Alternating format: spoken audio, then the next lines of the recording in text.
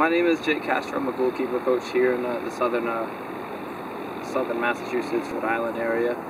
I've been working with Thomas for probably about three, four months now. Uh, it's been a pleasure to work with. Strength definitely is a big, powerful keeper. He's going to come through in corners, uh, balls through the box, anything high, super strong with, good with his hands.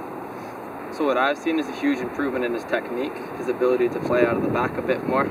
So I, I think that's something that's a little bit new to him, but he's adapted very well to, to the training and uh, what I've been trying to do with building out of the back. Important to have uh, good feet, able to find people in the wings, just kind of a variety of things that uh, I think he's improved a lot on.